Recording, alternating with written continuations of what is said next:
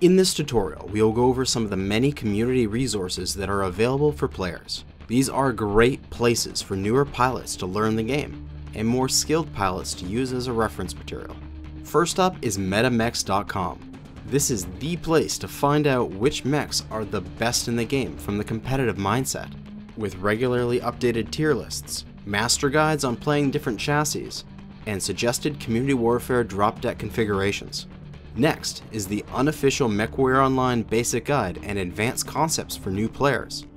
This Google document has a huge amount of information available. It covers almost every topic that a new player will need to learn the game. It also includes some of my videos as examples for the different topics. Next is the hitbox localization thread on the forums. This shows the hitboxes of most of the mechs in the game in two separate Google documents.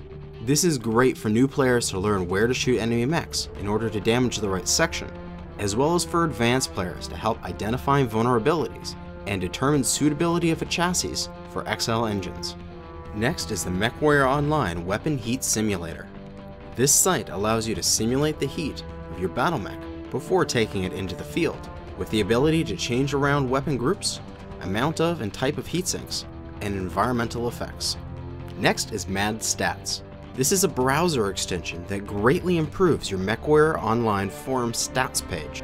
It allows for table sorting, sticky table headers, several filtering options, and newly calculated statistics. This is great for seeing how your mechs perform, what weapons are you most accurate with, and how long you have played on specific maps. And last but certainly not least is Smurfynet. This is the best site reference information on the game. You can see the details on every mech, weapon system, map, and piece of equipment in the game.